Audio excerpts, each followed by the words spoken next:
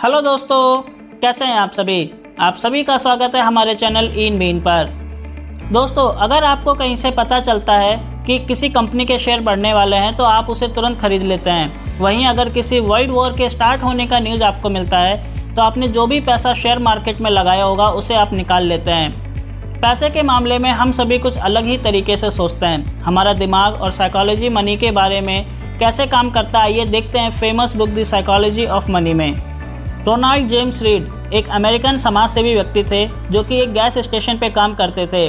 वो अपने फैमिली में हाई स्कूल पढ़ने वाले सबसे पहले व्यक्ति थे। उन्होंने गैस स्टेशन पर एक बहुत ही मामूली आमदनी में 25 साल तक एज अ सफ़ाई कर्मचारी काम किया और 38 साल की उम्र में 12,000 डॉलर का एक टू बी के फ्लैट खरीदा। उनकी मौत 2014 में हुई। उस साल यूएसए में टोटल 28 लाख लोगों की डेथ हुई थी। उसमें से 4000 से कम लोगों की नेट वर्थ 8 मिलियन डॉलर से ज़्यादा थी। और रोनाल्ड जेम्स रीड उनमें से एक थे। जो भी उनको जानता था, वो ये सब सुनकर के हैरान था। उन्होंने अपने 8 मिलियन डॉलर्स में से 2 मिलियन डॉलर अपने बच्चों को दिए और 6 मिलियन डॉलर अपने nearby hospital and library को डोनेट कर दिए। वहीं पर रिचर्ड फुस्कॉन, जेम्स रीड से बिल्कुल ही अलग थे। उनके वो हार्वर्ड एजुकेटेड थे। उनका करियर इतना सक्सेसफुल था कि वो 40 साल की उम्र में ही रिटायर्ड हो गए थे। उनके पास अट्ठारह हज़ार स्क्वायर फीट का बंगलो था। जिसमें 11 बाथरूम, दो एलिवेटर और दो स्विमिंग पूल भी थे। उसका मंथली मेंटेनेंस लगभग नब्बे हज़ार डॉलर का आता था। 2000 के दशक में फुस्को ने बहुत ज़्यादा पैसा उधार लिया और 2008 के क्राइसिस में वो औंधे मुँह गिरे और बैंक हो गए। जेम्स रेड ने अपने मैक्सिमम पैसों का सेविंग किया और ब्लू चिप फंड में इन्वेस्टमेंट किया और बस पेशेंस रखकर वेट करते गए। वहीं रिचर्ड फुस्कॉन ने लालच दिखाया और बिना किसी प्लानिंग और सपोर्ट के मार्केट से पैसा उधार लेकर के ज़िंदगी जी। इसमें ऑथर हमें बताते हैं कि फाइनेंशियल सक्सेस एक सॉफ्ट स्किल है, ना कि एक हार्ड साइंस हमने अभी तक फाइनेंस को केवल math calculation return and formulas के तरीके से ही समझा है, लेकिन आज तक इसको सॉफ्ट स्किल्स की तरह यूज़ नहीं किया है। तो चलिए दोस्तों, देखते हैं कुछ soft skills luck and risk Bill Gates ने 1968 में जिस हाई स्कूल में एडमिशन लिया, वो उस समय दुनिया में मात्र एक ऐसा स्कूल था, जहाँ पर सीखने के लिए कंप्यूटर अवेलेबल थे। उस समय जहाँ पर काफ़ी ग्रेजुएट्स स्टूडेंट्स के लिए कंप्यूटर अवेलेबल नहीं था और वहीं पर बिल गेट्स वो एक्सेस कर पा रहे थे केवल एट्थ स्टैंडर्ड में। 1968 में उस समय लगभग 30 करोड़ लोग हाई स्कूल एज ग्रुप में थे और लगभग 1.8 करोड़ यूएसए में थे। उनमें से 300 स्टूडेंट लेक साइड स्कूल में थे। तो बिल गेट्स का कंप्यूटर का स्टडी करने का luck one in a million था। उस समय वो पॉल एलन से मिले और दोनों ने उस समय खुद की एक कंप्यूटर कंपनी बनाने का सोचा। बिल गेट्स भी ये मानते हैं कि अगर लेक साइड स्कूल नहीं होता तो शायद आज माइक्रोसॉफ्ट भी नहीं होता। अब बात करते हैं बिल गेट्स के दोस्त केंट इवान्स की, जिन्हें लक के सिवलिंग रिस्क ने पहचाना।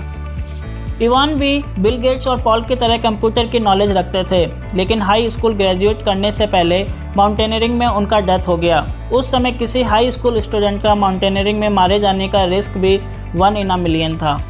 मैथमेटिकली कैलकुलेट करना इजी है कि हमारे कौन से डिसीज़न अच्छे हुए और किससे आपको लॉस हुआ। हमारे रिजल्ट्स के लिए हमारा लक एंड रिस्क दोनों ही इम्पोर्टेंट होते हैं। फोर्ब्स मैगजीन का कवर हमेशा सक्सेसफुल लोगों की ही फ़ोटो छापता है। उन्होंने कभी भी किसी ऐसे लोगों का फ़ोटो नहीं लगाया होगा जिसने डिसीज़न तो अच्छे लिए लेकिन लक का साथ उसको नहीं मिला।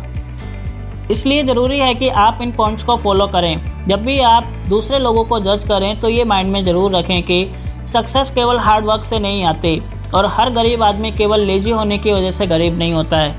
इसलिए किसी इंडिविजुअल एंड केस स्टडी पर फोकस कम करने की बजाय हमें ब्रॉड पैटर्न्स पर फोकस ज़्यादा करना चाहिए। नेवर इनफ रजत गुप्ता, जो कि एक बिलेनियर थे, उनका जन्म कोलकाता में हुआ था। टीनेजर में ही वो ऑर्फन हो गए थे। वो अपने 40 साल की उम्र में मैकेजी कंपनी के सीईओ भी थे और गोल्डमैन सेक्स कंपनी के टॉप मैनेजमेंट में भी रहे।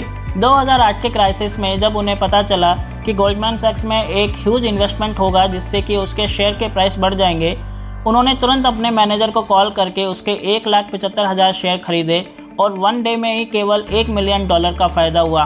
बाद में जब इस इंसाइडर टिप का पता चला तो उन्हें और उनके मैनेजर को कई सालों की जेल हुई।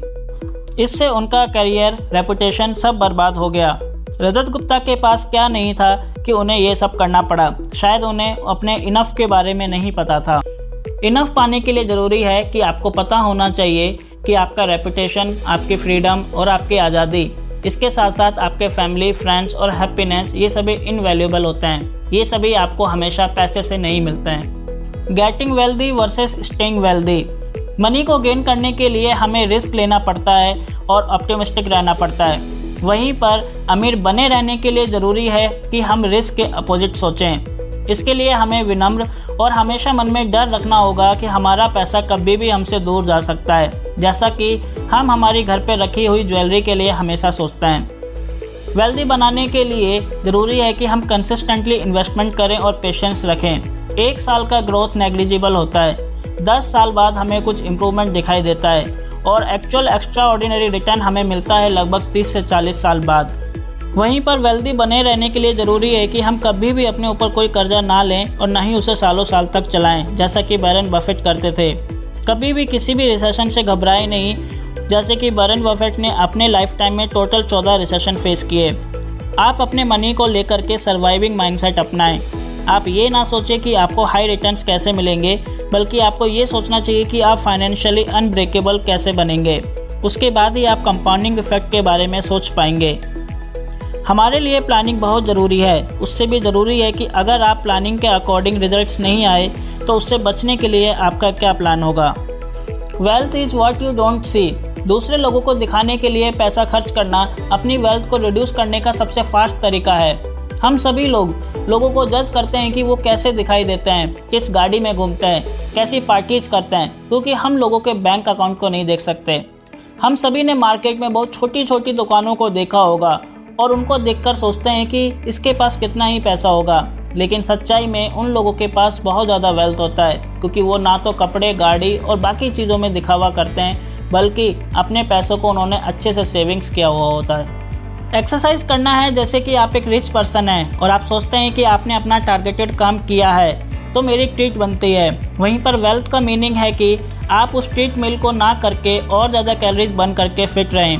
अपनी वेल्थ को बनाने के लिए सबसे ज़्यादा ज़रूरी है आपका सेविंग रेट ना कि आपका इनकम और रिटर्न रेट और आपको सेविंग करने के लिए कोई स्पेशल रीज़न नहीं चाहिए। आप केवल इसलिए भी सेविंग्स कर सकते हैं क्योंकि बस आपको सेविंग करना है। फ्रीडम अपने टाइम को कंट्रोल करना ही असली डिविडेंड है जो कि पैसा हमको देता है। डेली सुबह उठकर यह कह पाना कि आज मैं वो कर सकता हूँ जो मैं करना चाहता हूँ ही आपकी वेल्थ का हाईएस्ट फॉर्म है।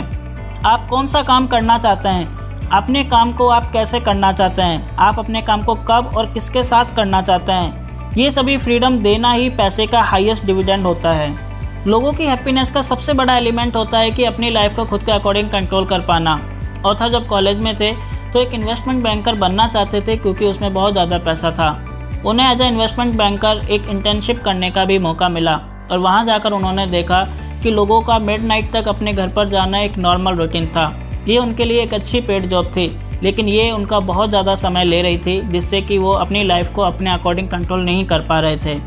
अगर हम आज से कुछ साल पहले की बात करें, जब फ़िज़िकल वर्क ज़्यादा होता था तो लोगों का अपने टाइम पर कंट्रोल था। वो अपने आस पड़ोस में लोगों से बात करते थे और एक्स्ट्रा वर्क करके भी हैप्पी रहते थे।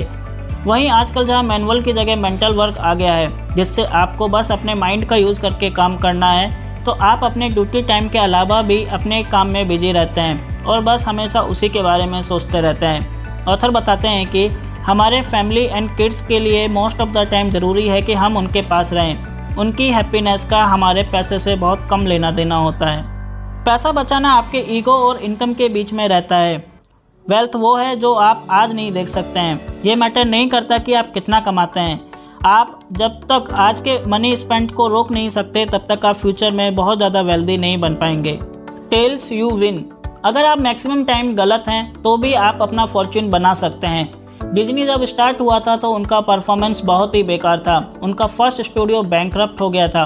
1930 तक उन्होंने 400 कार्टून पेश किए थे, लेकिन सब के सब फेल उसके बाद आया स्नो वाइट उसने कुछ ऐसा चेंज किया कि छः महीने में एट मिलियन डॉलर कमाए और कंपनी के सारे डेट को चुका दिया। अब आपको जो भी दूर से सक्सेसफुल और अच्छा दिखाई देता है, उसके पीछे बहुत सारा स्ट्रगल और टाइम होता है। बारन बफेट भी 50 साल के बाद अमीर बने थे। इसमें आइडिया ये है कि आप कुछ टेल इवेंट्स जो कि आपको बहुत बड़ा रिज़ल्ट देते हैं, जैसा कि हमने 80-20 प्रिंसिपल में सीखा था। आपके 20 परसेंट एफर्ट आपको 80 परसेंट रिज़ल्ट देते हैं। तो दोस्तों दी साइकोलॉजी ऑफ़ मनी में बस इतना ही। हम उम्मीद करते हैं कि आपको हमारा ये वीडियो पसंद आया होगा। आपसे रिक्वेस्ट है कि आप हमारे चैनल को लाइक शेयर सब्सक्राइब करना ना भूलिए और कमेंट सेक्शन में बताइए कि आपको ये वीडियो कैसा लगा।